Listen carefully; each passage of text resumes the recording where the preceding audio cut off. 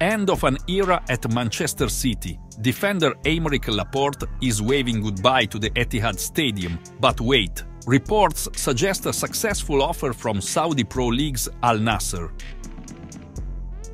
Imagine this, Laporte teaming up with Ronaldo, Mane and Telles in the Middle East. With 180 appearances for Man City, Laporte's journey has been nothing short of iconic, but last season, a mere 24 appearances.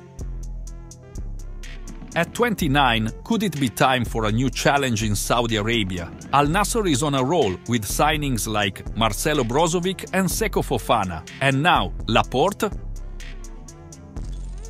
with Man City's packed defense lineup, is this Laporte's cue to exit? One thing's for sure, the Premier League will miss this defensive stalwart. Best of luck, Laporte.